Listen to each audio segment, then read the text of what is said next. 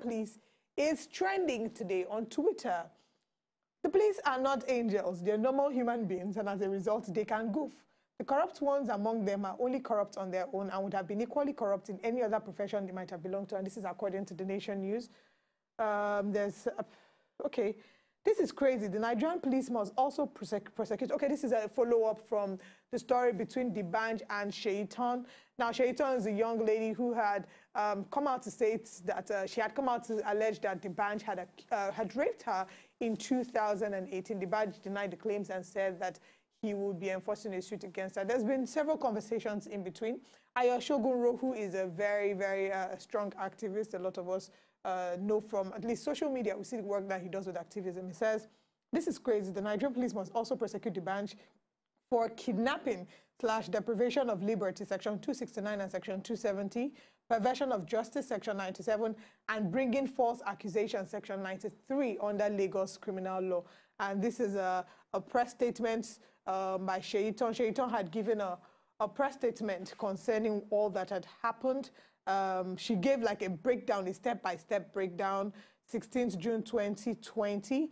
Um, this is when uh, she talked about the fact that armed policemen stormed her apartment and arrested her without a warrant, and they seized her phones and other personal effects and detained her in a police cell overnight at the IGP IRT office at uh, Sodipo Ikeja. Then she said on the 16th of June 2020, a friend reached out to a journalist who had been in contact with her earlier to raise the alarm that ne neither they nor her lawyers could reach her. Her mom was also contacted to inform her of the situation.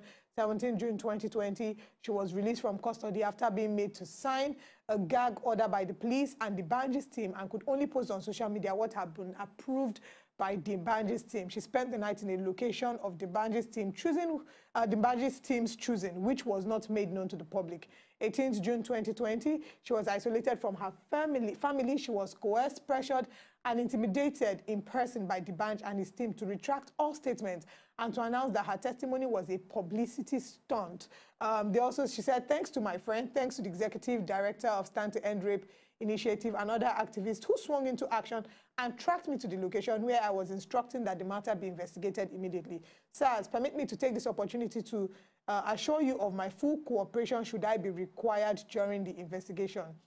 She also says that she would like to urge every well-meaning individual and organization to please join voices with her to plead that the Attorney General of Lagos State takes over this case, which is firmly within his office, and to pursue this case to the full extent of the law. She has confidence that his office will not be influenced by D'banj's many friends. And she says what she experienced has, should not happen to any girl or woman in Nigeria. No one should be raped. No one should have to be subjected to the violent abuse which happened to her in a hotel room that the door was locked. And most importantly, nobody should have the right to use their name or status to intimidate survivors who speak out to tamper with justice. Now, not only is it terrible for one to go through rape, there's also the trauma that comes with reliving these experiences. Every time someone talks about rape, you're triggered. And even coming out to public uh, to talk about the fact that you've been raped. Seyitan has given her side of the story and given a, a press release. And if this press release is true, then it is such a shame to think that this will happen. But I'm, I'm looking forward to see seeing a response to this. And I do hope that the law enforcement agents will dig to the root of the matter and let the guilty person face the law. Because in this matter, it is obvious that one person is guilty. And let that guilty person be brought to the book. We hope that the, the, the law will take its full effect. And here on the Good Morning Nigeria show, as well as with Wazobia TV, we say no to injustice of any form.